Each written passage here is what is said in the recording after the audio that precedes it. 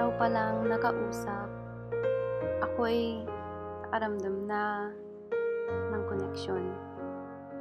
Koneksyon na tila ba ikay aking matagal nang kakilala. Mas komportable pa nga ako sa'yo kaysa sa pinakamatalik kong kaibigan.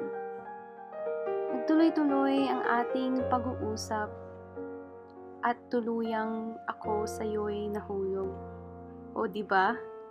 Simbilis lang ng pagragasa ng tubig sa may talon ang pagtangi ko sa iyo. Ako'y parang tangang umaasang sa tuwing tayo'y magkasama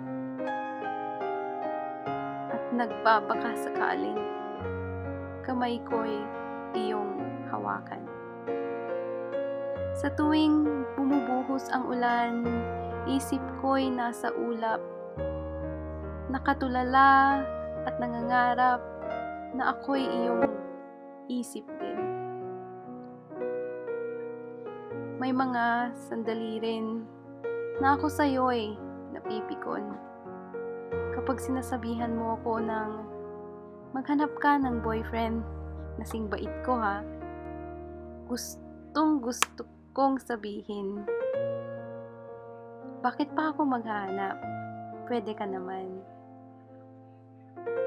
Pero, mga salitang iyon ay sadyang di ko mailabas-labas.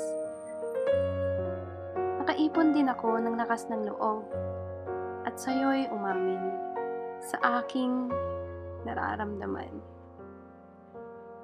Ika'y may ipinagtapat din three strong words ang iyong ipinagtapat na siyang aking ikinagulat. Taken na ako, bes. Pagkabitaw mo sa mga salitang iyon, lahat ng nasa paligid ko'y tila gumuguho. Paano? Bakit? Bakit hindi ako? Kailan pa? Tanong ko sa'yo. Patawan. Salitang ayokong pakinggan, ngunit kailangang tanggapin. Salitang dapat ginagamit na pag-ugnay sa mga taong nagkakahiwalay. Pero sa ating sitwasyon, ito'y salitang parang magtatapos sa kung anong meron tayo. May naging tayo ba?